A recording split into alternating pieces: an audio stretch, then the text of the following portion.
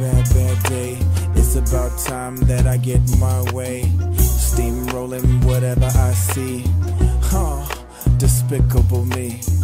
I'm having a bad, bad day. If you take it personal, that's okay.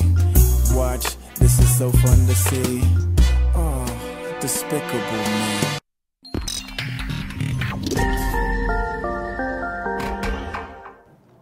Today on WATV News, we get an inside look at a revived club. We check out what the girls soccer team did to prepare for the season, and with the musical in full swing, we show you a couple of behind-the-scenes spaces you wouldn't normally access. And finally, we test our English department's knowledge on Shakespeare. This is WATV News.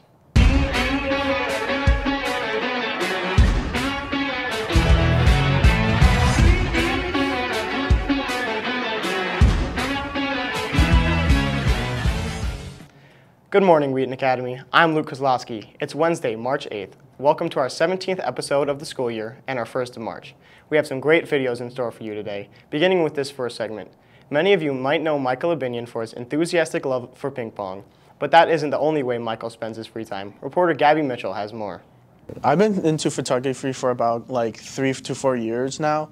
I started out with a very old school DSLR camera, and now I, am still working with professional, more professional cameras. My main inspiration for taking photos is trying to find like, like if I'm taking photos of people, there has to be some sort of like joy inside them without trying to get out of like a fake smile because that just kills like the idea of vibrance and like love inside of a photo michael i think um, has a, a, level of interest in photography that lends itself to an exploration of some of the technical aspects um, he has uh, lots of cool equipment that he's been bringing into photography class and experimenting with, which is fun to see. It brings unique perspectives to his images.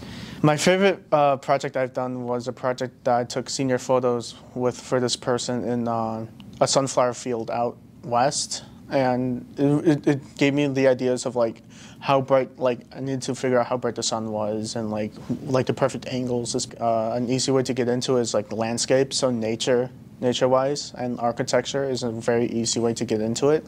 Another easiest way is to take photos of streets like empty streets get like a vibrance of how big this world is. Thanks michael. We look forward to seeing more of your art in the future. This has been gabby mitchell and sophia lascaris reporting thanks sophie and gabby and thanks, Michael. You can give him a follow on Instagram or just stop by the Senior Lounge and talk to him. For our next segment, reporter Billy Yang catches up with a newly revived club. Check it out. Today on WATV, we visit a new club at Wheaton Academy to learn more about how students are using their gifts to help others.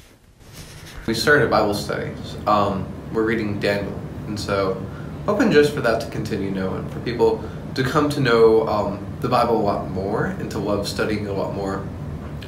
According to the students, they found that this club actually helped them solve problems, not only spiritually, but also in everyday life. And she told me about this club called Bible and Theology Club. So I came one day and we were going through, like, I believe, um, different types of like Christianity, and it was great. Adrian, a junior at Wheaton Academy, just restarted his Bible and Theology Club this semester after a year. So, my hope is first, right, for community for Christians um, here. And then it's also that um, our just love for God and His Word would grow. Bible and Theology Club will be meeting every day on Wednesday during lunch in Mr. Kelly's room. If you're interested in joining, please come. This is Billy Young and Brandon Kelly signing off. Thanks, Billy. And as Billy mentioned, the club meets every Wednesday during lunch in Mr. Kelly's room. Stop by sometime and find out what this club is all about. Last week, we all had the chance to watch the production of The Fiddler on the Roof. Today, we wanted to take you behind the scenes to show you some spaces that you may not have seen before. Reporter Jacob Carlson has more. May not know about the upcoming musical is what goes on behind the scenes. Taking time to go explore unknown rooms and learn more about what it takes to put on a performance is truly unique. The Burek family is very invested in the performances here at Wheaton Academy.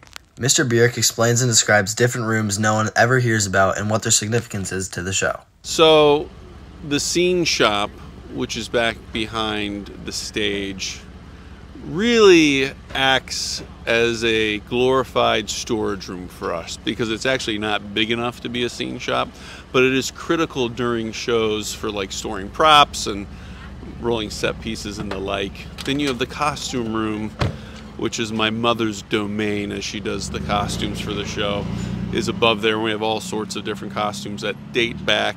Some of the things I think are literally decades old. Uh, but then we have some props and some tech stuff up there. The catwalk, I am petrified of, and I will never go up there because it's high in the air. But those who are brave enough go up there to work different spots and lighting and that sort of thing. And also, we have had from time to time actors repel from the catwalk for added flair to shows. So, those are the roles of those spaces. With the spring musical currently happening, be sure to consider all the things that happen above and behind the stage. From WATV News, this is Jacob Carlson and Landon Ollinger signing out. The musical will run on Thursday, Friday, and Saturday nights if you want to get out and support your friends one more time. Student tickets cost $13 and can be purchased on our website under the Fine Arts tab. Now here are some announcements for the week. Students, be aware of the unique schedule coming up in the next two weeks. We have absolutely no school this Friday, and the following Friday will be an off-campus learning day. The Christian College Fair will be taking place in the Commons on March 13th from 6.30 to 8.30 p.m. Please register beforehand by scanning a QR code found around campus. Congrats to our DECA competitors. 2,500 Illinois business students gathered this weekend for an annual competition. Mateo Matoya placed first in entrepreneurship, Jack Schroeder places third in financial literacy, and Sam DeCastro placed fifth in retail merchandising, and Andrew Hancock places eighth in principles of finance. Mateo, Jack, and Sam all qualified to compete in nationals this April. Finally, the girls' soccer starts their regular season with a Tuesday home game against Bennett Academy. Reporter Hannah Martin gives us an inside look at what a typical preseason morning with the team looks like. Check it out. This is futsal, indoor soccer that goes on every Friday morning to help get everyone ready for the season. A coach talks to its importance. I think first and foremost, it kind of gets you in the disciplined mindset again. Getting up at 6 a.m. is a lot. I mean, I'm usually late, so it takes a minute. Um, and I think just integrating you back into like the soccer rhythm of touches in the ball, fitness, getting back with the girls. Um, I mean, I always know transitioning, especially from one sport to another, you gotta gotta get back in that rhythm. So I think it does a great job with that. One of the captains explains why it's an honor to be a captain and some people who impacted her leadership from the past classes.